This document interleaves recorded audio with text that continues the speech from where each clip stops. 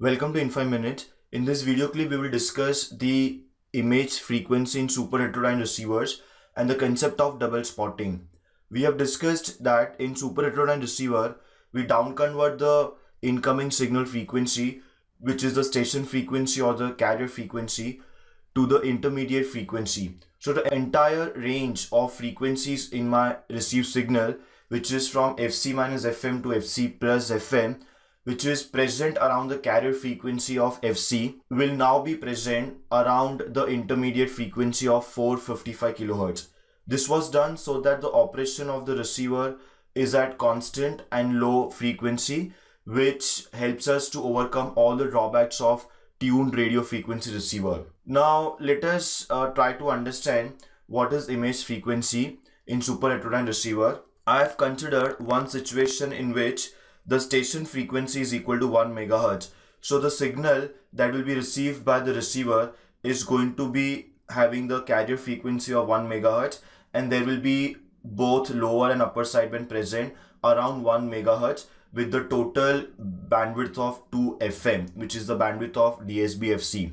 Once the signal reaches to the mixer, the local oscillator will also provide second input signal to the mixer the local oscillator frequency is fs plus if as we had seen uh, in the previous video clip now fs in this case is 1 mega because that's the station frequency of the received signal and intermediate frequency is 455 kilohertz which is the standard value used in am receiver systems now if we work this out my fo the frequency that the local oscillator will generate comes out to be 1.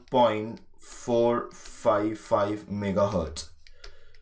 As per the mixer operation, we will generate the output of the mixer in the form of FO minus FS and FO minus FS uh, will come out to be 455 kilohertz as required.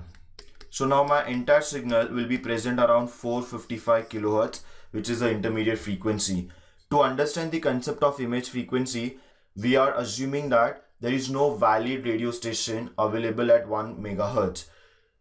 This means if I tune my receiver to 1 megahertz, then all I'll be receiving is the noise signal because there is no valid information signal transferred at 1 megahertz. In spite of that, when you tune your receiver to 1 megahertz, the local oscillator will generate its equivalent frequency which is always the frequency to which the receiver is tuned which is fs plus 455 kilohertz. Mixer output will always be taken in the form of fo minus fs which comes out to be 455 kilohertz. And hence entire receiver will treat the incoming signal as if there is a valid radio station.